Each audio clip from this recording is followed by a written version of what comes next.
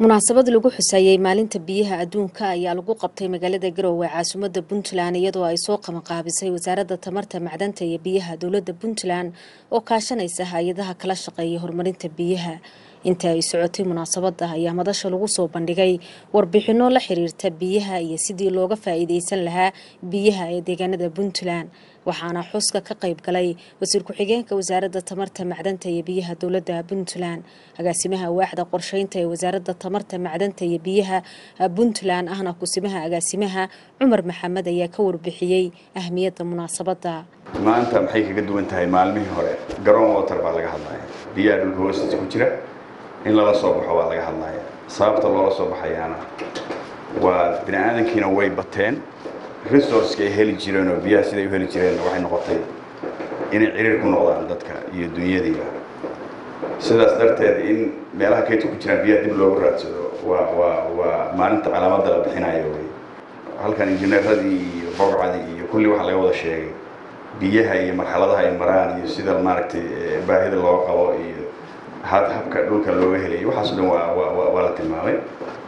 Inteenna halka joogtaa nin waliba gurigu ka yimid waana lagu oomen yahay qof kastaa wuxuu ku xihan yahay qof miiga jooga ama reer guuraa bayn leenahay maanta waxay inooga baahan yahin inan garab istaagno inaynu hay'adaha ku fiirsanno maaha inaynu nidhaahno dowladda gaar ugu fiirsanayna maaha inaan nidhaahno ganacsatada gaar ugu fiirsanayna maaha qof kasta wuu awoodi kara inuu inuu inuu maanta ka qayb qaato dadkiisa dhinac istaago dadkiisa way u baahan yihiin messagekaas waxa weeye waa waa waxaan ka rajaynayaa dadka reer puntland inay isu tashadaan oo ay dadkooda dib u fidiyaan iyo dunyadoodiiba qaar ka mida mas'uuliyiinta hay'adaha ka hadlay xuska biyaha ayaa sheegay inay dardar gelin doonaan inay ka qayb qaataan baahiyaha biyaha loo qabo maadaama ay jiraan xilligan abaaro.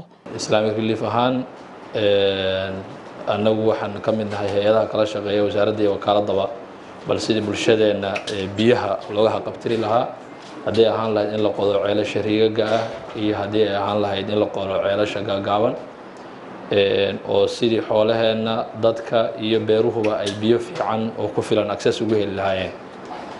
Sidii la sheegay sanadihii la soo dhaafay ceelal tiro badan baan qodnay.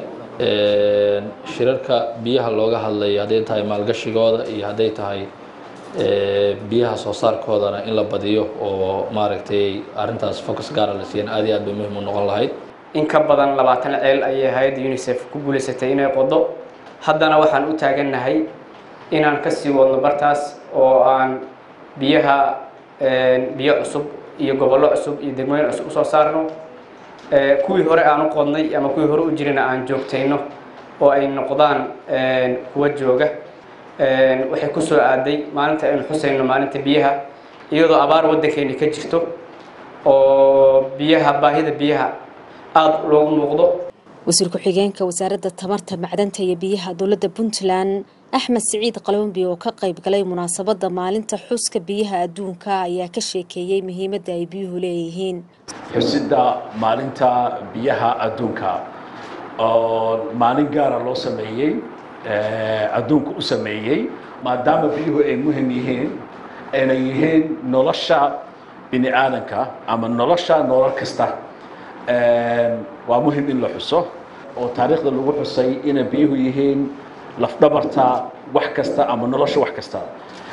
داد مسلمين هذين هينا قرآن كي لهين وشيعي أو اللوح الصي آه، وحكستا ده هالكسر لجسي قاتها أو أه أيضا قرآن الله وحكيه.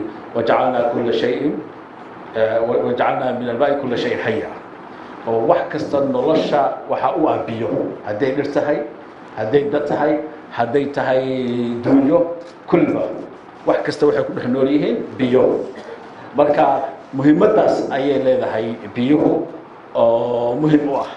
Marka ka wasaarad ahaan annaga maadaama muhiimaddaas oo dhan dusha naga saaran tahay oo ah maadaama lafdhabarka biyuhu wax kasta u yihiin shaqo weyn ayaana saaran oo ah inaan dadaalno oo dadkii dunyadii iyo degaankiiba biyo helaaneen